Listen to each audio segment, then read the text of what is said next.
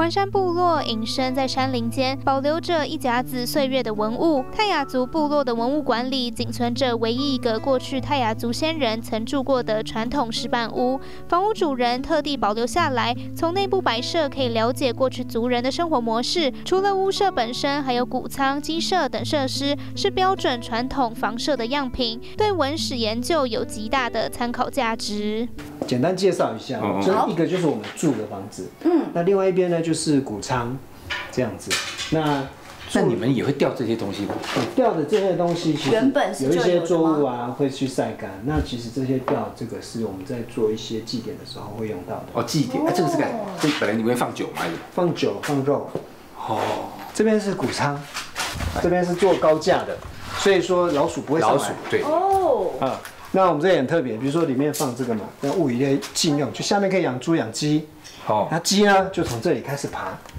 爬上去，上去到上面就会生鸡蛋。不难想象，过去在环山部落一带曾遍布着诸如此类的石板屋，一群人过着养鸡种田的生活。但随着时代变迁，石板屋慢慢被拆毁。幸好泰雅族文物馆还保留了传统的藤编、祭祀用的用品，让先人的生活智慧能够传承下去。其中传统服饰编织就是一大技术。我马不七三，嘎啷面是狗腰。我现在就在做挑织，现在它挑织会有一层一层的上去，那现在就是我在做第二层，所以我就开始要挑。哎，这逻辑要很好哎，真的要好，而且头脑要很清楚，而且很有耐心。太阳族有名，织布机有名称？有啊，就叫织布机不是吗？懂动啊。叫懂动，示范一下。为什么叫什么叫懂动？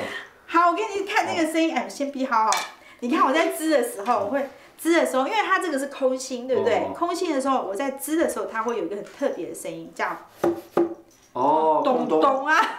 哦，咚咚哦，我就叫董娘啊。